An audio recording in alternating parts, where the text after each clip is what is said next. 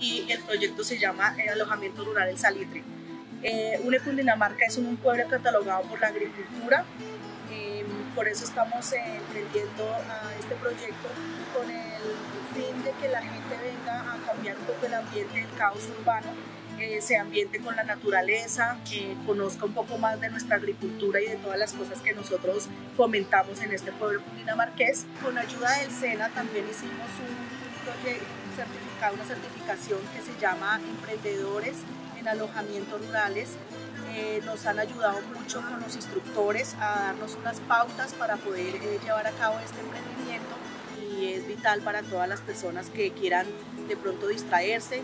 Eh, también tenemos una casa de campo donde se pueden alojar, servicio de camping porque es campo, es naturaleza.